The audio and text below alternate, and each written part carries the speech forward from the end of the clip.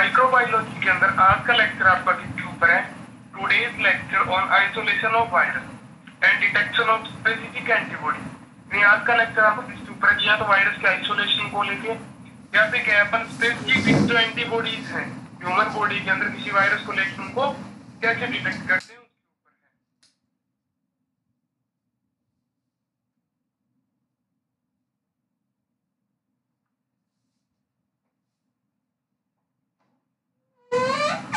Next देखिए isolation of virus में देखिए कि this is the commonest commonest method used in the diagnosis of virus infection यानी virus का जो आइसोलेशन है वो क्या है सबसे कॉमन मेथड है किसको डायग्नोज करने के लिए किसका पता लगाने के लिए?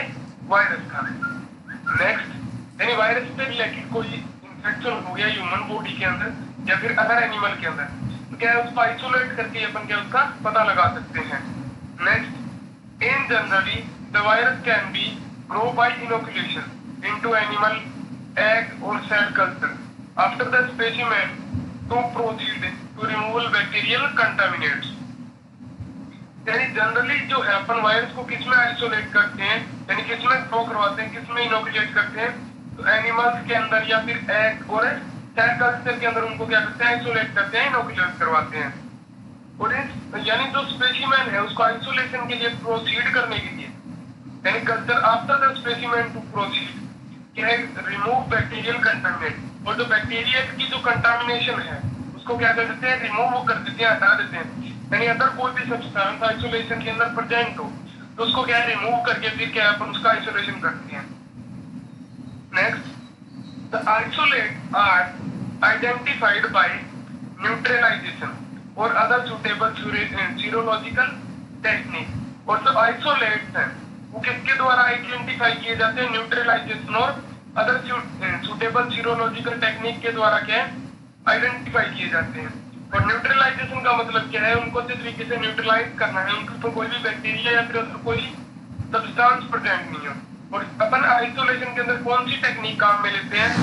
सीरोलॉजिकल टेक्निक को काम में लेते हैं। Next The technique for the isolation of virus.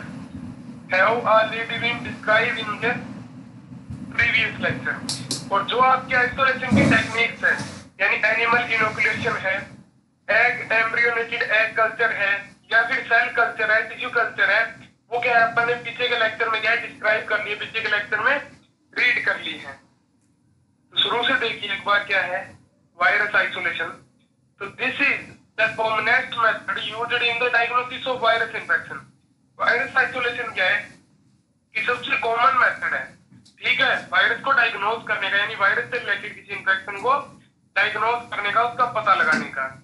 Next in general the virus can be grow by inoculation into animal egg और cell culture after the specimen to proceed remove bacterial contaminate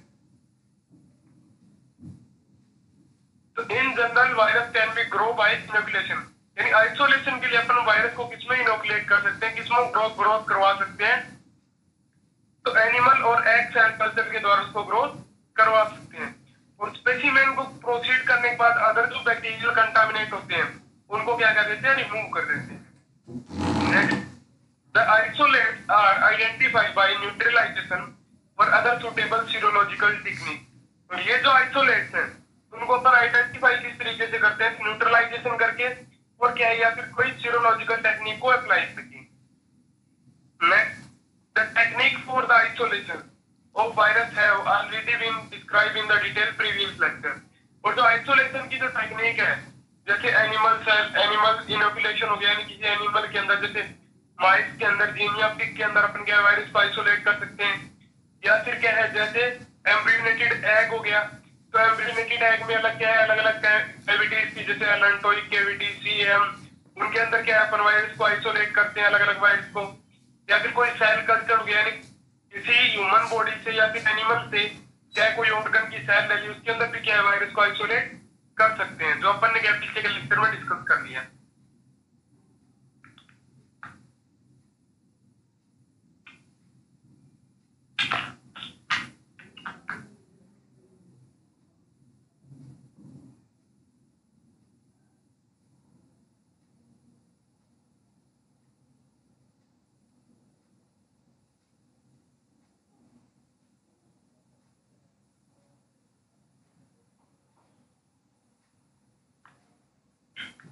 next देखिए detection of specific antibodies यानी specific antibodies का detection किसी virus के लिए। यानी जैसे HIV virus के लिए हेपेटाइटिस वायरस के लिए, किसी स्पेसिफिक वायरस के लिए एंटीबॉडीज का डिटेक्शन तो देखिए the demonstration of a rise in titre of antivirus antibodies during the course of a disease is strong evidence evidence that is the etiological agent. यानी जो डिमोन्स्ट्रेशन है, किसका वायरस के टाइटर का, कि कितने परसेंट क्या है, वो इन्फेक्ट कर सकता है। कितने परसेंट इन्फेक्शन हो चुका है। उसका जो टाइटर है, उसकी जो रेंज है, वो किससे अपन डिटेक्ट कर सकते हैं? तो क्या है antiviral antibody during the course of disease is strong evidation evidence यानी जो एंटीबॉडीज प्रेजेंट है ह्यूमन बॉडी के अंदर, की एंटीबॉडीज लेवल तक डेवलप नहीं है। शुरुआत में क्या जैसे वायरस का इन्फेक्शन होता है, कोई एंटीबॉडी नहीं होती ह्यूमन बॉडी के अंदर। अगर क्या एंटीबॉडी प्रेजेंट है तो वो क्या है कि एक टाइटर है, यानी अच्छे तरीके से वायरस ने अपना इंफेक्शन को कर दिया है। Next for this period serum should be collected from the patient the acute sample collected by early in the course of the disease at the covalent sample collected 10 to 14 days later for this period serum should be collected from the patient और इसके लिए क्या है, serum का जो sample है, वो कहाँ से कलेक्ट करते हैं? पेशेंट से कलेक्ट करते हैं। Acute sample collect collected early in the course of disease वो क्या है, एक तो सबसे पहले सैंपल कलेक्ट करते हैं यानी क्या किसी के इन्फेक्शन हुआ तो वो क्या है एक्यूट सैंपल कलेक्शन है। तो अर्ली जल्दी से जल्दी, यानी डिज़ीज़ के कोर्स में।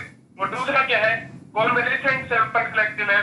कलेक्शन है तो क्या है वायरस के इन्फेक्शन होने के बाद में अपन करते हैं, यानी टेन टू फोर्टीन डेज़ क्या है लेटर करते हैं।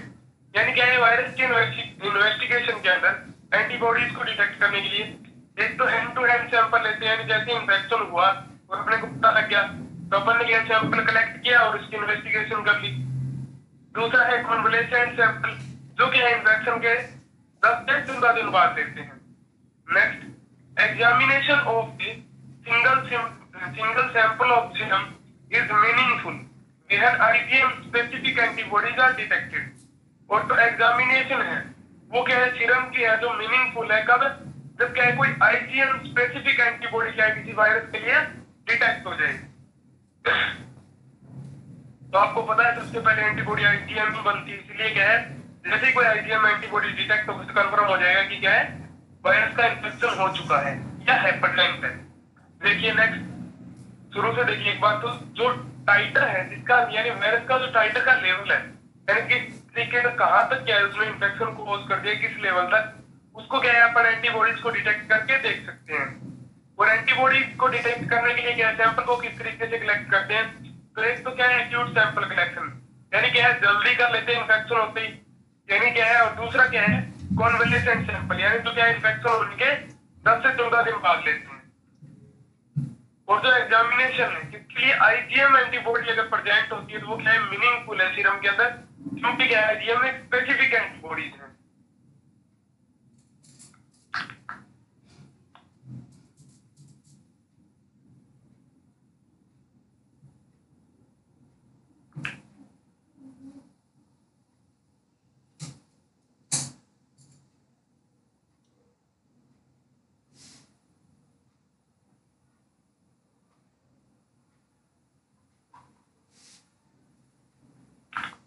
देखिए प्रियोन प्रियोन्स क्या है यानी नोमेन का क्या वायरस की जैसी सिमिलर स्ट्रक्चर है तो देखिए prions are infectious protein without any detectable nucleic acid यानी प्रियोन्स एक इन्फेक्टियस प्रोटीन है। तो क्या बिना किसी न्यूक्लिक एसिड के डिटेक्शन के प्रेजेंट होती है, यानी प्रियोन्स में कोई भी न्यूक्लिक एसिड प्रेजेंट नहीं होता।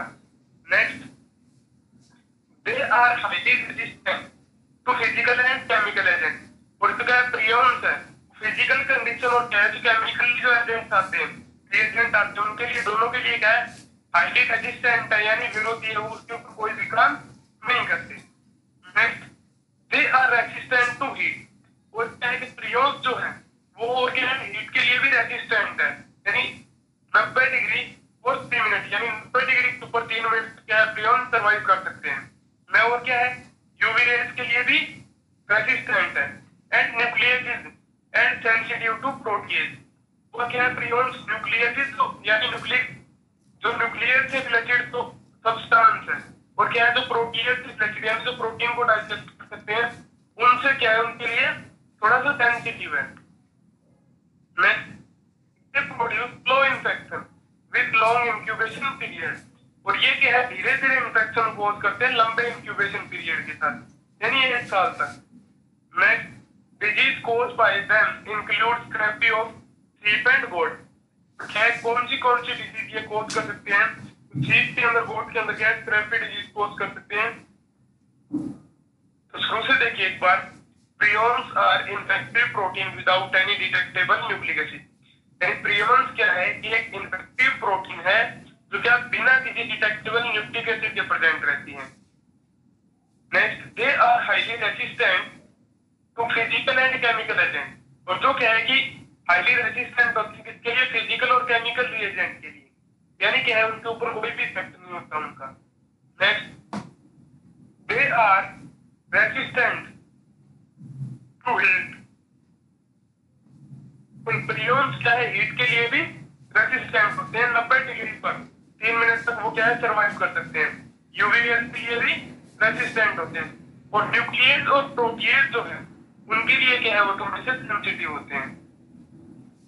Next they produce टिमो infection with long incubation period और ये क्या है, धीरे धीरे इन्फेक्शन कोज करते हैं लंबे इंक्यूबेशन पीरियड के साथ। Next disease cause by them include sheep and और ये क्या है के एग्जांपल क्या है कौन सी डिज़ीज़ कोज कर सकते हैं। शीप और गोट में डिज़ीज़ कोज करते हैं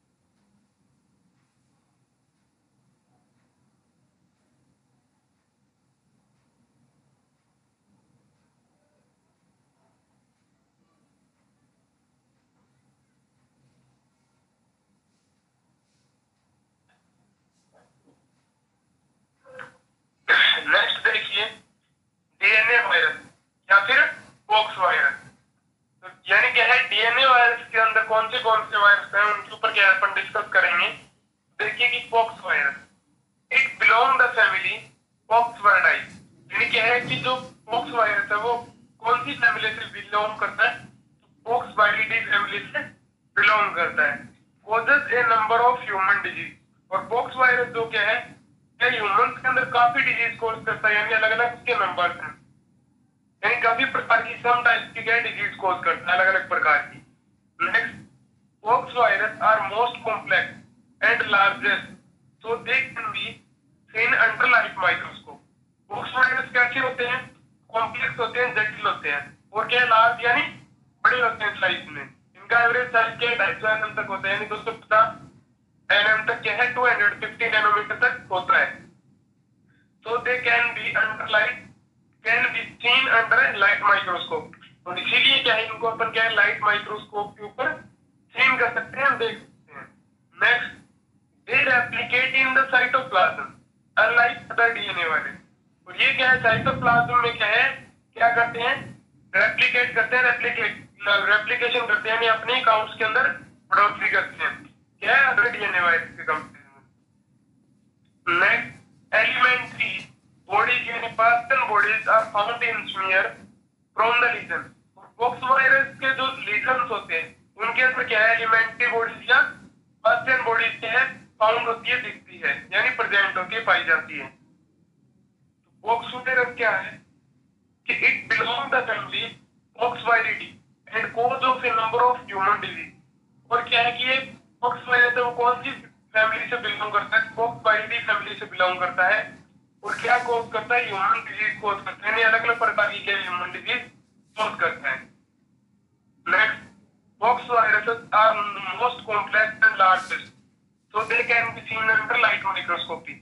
इन स्ट्रक्चर जो क्या है, जटिल होती है और साइज़ में सकते हैं, बड़े होते हैं। और इसीलिए क्या है, इनको लाइट माइक्रोस्कोप के ऊपर हम चेंज कर सकते हैं देख सकते हैं। Next they replicate in the cytoplasm unlike other DNA virus एक है साइटोप्लाज्म के अंदर क्या है? मल्टीप्लीकेशन करती है।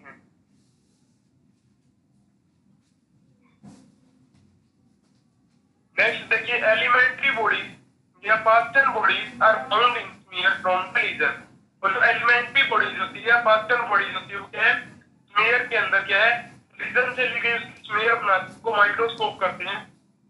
उसके अंदर क्या है? प्रेजेंट होती है दिखाई देती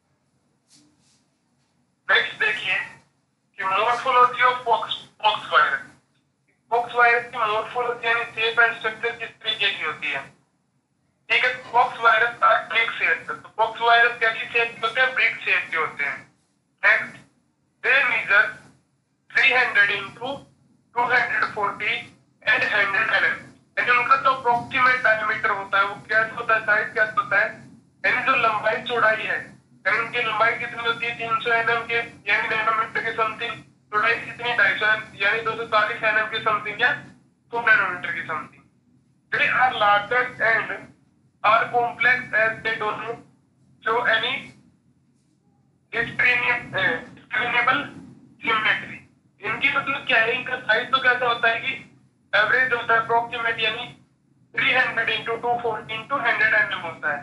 ये है लार्जेस्ट और कॉम्प्लेक्स वायरस है, जो किसी भी प्रकार के यानी किसी पर जो सिमिलिटी है अपन जो सिमेट्री पढ़ती इकोसेंट्रल या फिर स्पाइरल क्या है क्यूबिक सिमेट्री तो कोई भी स्पेसिफिक सिमेट्री शो नहीं करते हैं।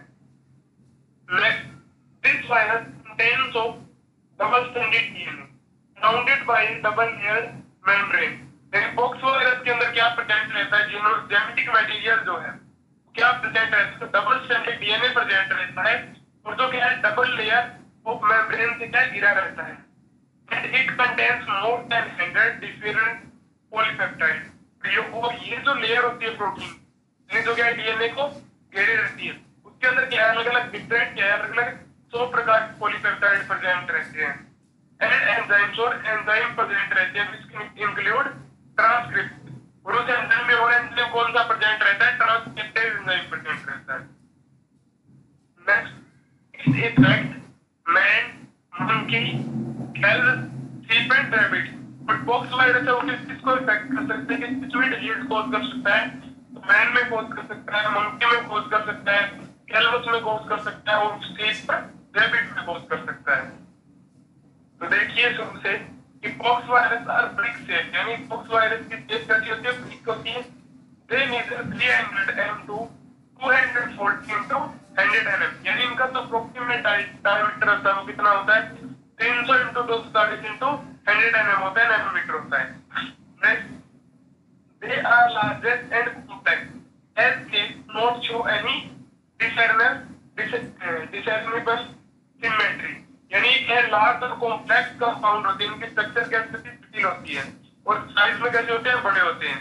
और एक किसी भी प्रकार की स्पेसिफिक सिमेट्री शो नहीं करते सिमेट्री क्या है नहीं दिखाते हैं। Virus consists of double stranded DNA. और ये जो वायरस पॉक्स वायरस वो किससे बना है? तो डबल डीएनए से बना है। और डबल स्टैंडर्ड डीएनए के ऊपर क्या रहती है? डबल लेयर्ड मेम्ब्रेन रहती है प्रोटीन से बनी और इस प्रोटीन लेयर में क्या है? सो अलग अलग प्रकार के क्या है पोलिपेप्टाइड एंजाइम प्रेजेंट रहते हैं, जिसके अंदर एक एंजाइम कौन सा ट्रांसक्रिप्टेज है।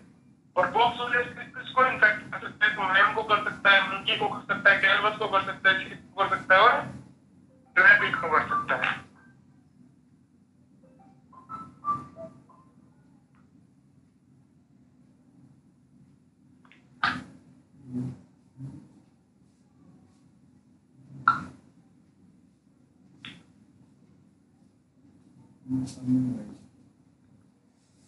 नेक्स्ट देखिए कल्टीवेशन ऑफ़ बॉक्स वाइड यानी किस तरीके से उनको कल्चर कर सकते हैं किस तरीके से उसको ग्रोथ करवा सकते हैं।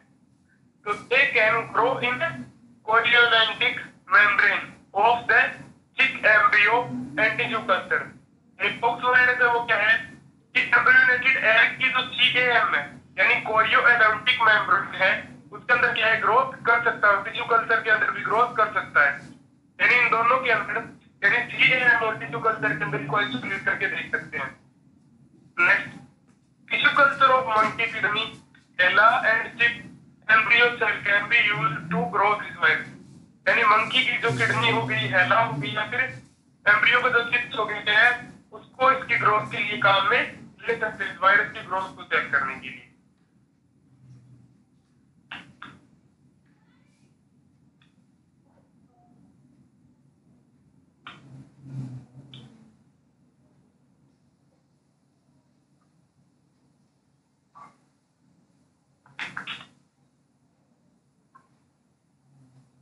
नेक्स्ट देखिए वायरस कोजिंग ह्यूमन इंफेक्शन यानी ऐसे पॉक्स वायरस को करते हैं ह्यूमंस में इसके अंदर सबसे पहला कौन सा है? Variola variola virus cause smallpox only in human and monkeys यानी वेरियोला जो वायरस है, वो किसके अंदर इंफेक्शन कॉज करता है स्पेशली ह्यूमंस के अंदर और मंकी के अंदर। In the first small pox epidemic spread into two forms यानी क्या है? पास्ट के अंदर क्या है? यानी पीछे जो साल गए उनके अंदर क्या है कि पॉक्स जैसा एपिडेमिक अपीयर था। दो फॉर्म के अंदर प्रेजेंट होता था। देखिए फ़र्स्ट जो फॉर्म है वो क्या है?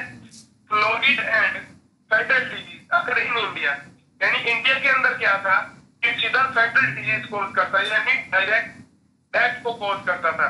फेटल का मतलब है अचानक से डेथ जिसको क्या है? एक्यूट फ़ूड को कोज करता था इंडिया के अंदर। और क्या है? माइल्ड या फिर नॉन फैटल डिज़ीज़ यानी एलिस्ट्रीन इन लैटिन अमेरिका और लैटिन अमेरिका में कैसी डिज़ीज़ कोज करता था? तो नॉन फैटल डिज़ीज़ कोज करता था। देखिए the name variola major was given to the virus causing classical smallpox और ये तो वेरियोला नेम है। यानी मेजर जो वेरियोला है, वो किसके लिए है? तो small classical small pox cause करता है। And of fatal disease cause करता है। And variola minor to the other virus causing alastrim variola variola minor अपन कौन से वायरस को बोलते हैं? तो कौन सी डिज़ीज़ कोज करता है? एलिस्ट्रीन डिज़ीज़ कोज करता है नॉन फेटल वाली। वेरियोला वायरस क्या करता है? कि मंकी और ह्यूमन के अंदर इंफेक्शन कोज करता है, इसका डिज़ीज़ कोज करता है, और इसको पास्ट के अंदर क्या बोला गया था? स्मॉल पॉक्स एपिडेमिक्स को क्या है एपिडेमिक्स को दो पार्ट में डिवाइड किया गया था। यानी एक है, दो प्रकार की डिज़ीज़ कोज करता है। एक तो florid and fatal disease in India India के अंदर कौन सी डिज़ीज़ कोज करता था ये?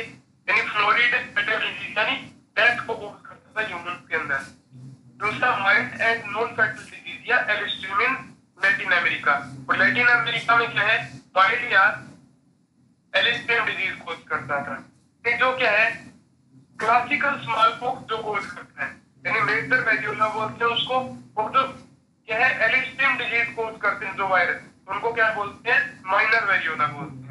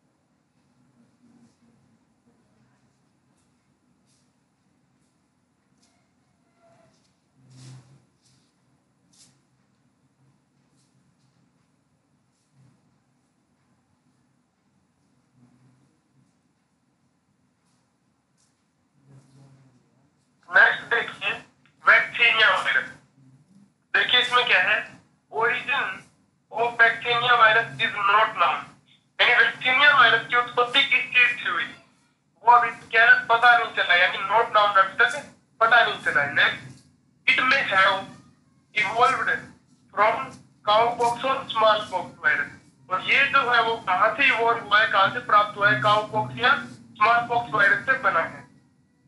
It is an artificial virus and does not occur in stress ये कैसा वायरस वैक्सीन का वायरस एक आर्टिफिशियल यानी तैयार किया हुआ वायरस है। और जो के अंदर यानी यानी नेचर के अंदर उत्पत्ति के अंदर प्रेजेंट नहीं होता। It cause a localized skin infection और ये क्या, कौन सी डिज़ीज़ कोज करता है? ये क्या स्किन इन्फेक्शन कोज करता है। एक लोकल जगह पे, एक फिक्स क्या है, किसी भी जगह पे क्या है स्किन इन्फेक्शन कोज करता है। ये इन्फेक्शन स्प्रेड नहीं होते। नेक्स्ट देखिए मोलस्कम कॉन्टेजिज्म ठीक है तो कॉन्टेजिशियम में देखिए, क्या है it is is a benign epidermal tumour like lesion occurring only in man on the arm leg Windows and genitalia यानी क्या है मोलस्कम है जो, वो क्या करता है कि एपिडर्मल ट्यूमर कोज करता है, ठीक है? जो कहाँ पे यानी लीजन कोज करता है, घाव कोज करता है, कहाँ पे? मैन के अंदर। यानी मैन के आर्म्स के ऊपर लेग के ऊपर या जेनाइटल जेनाइटल एरिया के अंदर। Next it is contagious hyaline inclusions body यानी molluscum body, are within the proliferated epidermal cells of the nodule यानी इसके अंदर क्या होता है इसको आइसोलेट कर सकते हैं अपन किससे इसके अंदर क्या इंक्लूजन बॉडीज प्रेजेंट रहती है? और जहाँ पे इंफेक्शन होता है, यानी एपिडर्मल के अंदर, वहाँ पे क्या है? वहाँ से इसको आइसोलेट कर सकते हैं अपन, क्या है? इसके अंदर इंक्लूजन बॉडीज को डिटेक्ट कर सकते हैं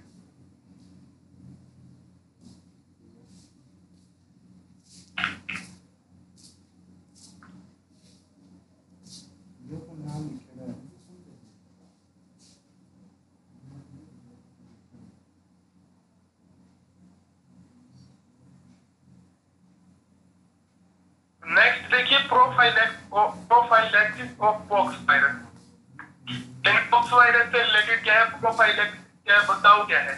Vaccination with vaccinia produce protection against small pox for five years यानी जो वैक्सीनेशन है, वो क्या है वैक्सीनिया वायरस से क्या है, जो यानी वैक्सीनिया के साथ अगर अपन वैक्सीनेशन कर देते हैं किसी में तो वो क्या कोज कर देता है कि स्मॉल पॉक्स के खिलाफ क्या है एंटीबॉडीज कोज कर देता है ह्यूमन बॉडी में। जो कितने दिन तक चलती है? पाँच साल। यानी क्या है? वैक्सीनेशन जो है, इसका पॉक्स वायरस का वो क्या है? कितने दिन तक प्रोटेक्ट कर सकते हैं? पाँच साल तक। Next in natural infection of small pox give a complete protection against re infection और एक जो नेचुरल इन्फेक्शन होता है ह्यूमन के अंदर, वो क्या है? कंप्लीट लाइफ टाइम के अंदर क्या है? इन्फेक्शन के लिए प्रोटेक्शन प्रोवाइड करवा देता है। यानी स्मॉल पॉक्स का अगर क्या है नेचुरल इन्फेक्शन हो जाता है ह्यूमन बॉडी के अंदर। तो वापस लाइफ में क्या है अगेंस्ट री इन्फेक्शन नहीं होता। यानी एक ही टाइम में क्या ह्यूमन बॉडी के अंदर एंटीबॉडीज जनरेट हो जाती है। और अपन वैक्सीनेशन करते हैं तो वो कब तक प्रोवाइड करवाता है प्रोटेक्शन पाँच साल तक। और इसीलिए क्या है साइंस के अंदर न्यूली बर्थ बर्थ चाइल्ड है। उनके अंदर क्या है अलग वायरस अकॉर्डिंग क्या है उनमें वैक्सीनेशन किया जाता है। और उस वैक्सीनेशन के अंदर किसका होता है? पोक्स वायरस वैक्सीन होता है। ताकि पाँच साल तक क्या है बच्चे को पॉक्स वायरस से बचाया जा सके। नेक्स्ट लेक्चर आपका किसके ऊपर रहेगा हर्पीज वायरस के ऊपर थैंक्स टू ऑल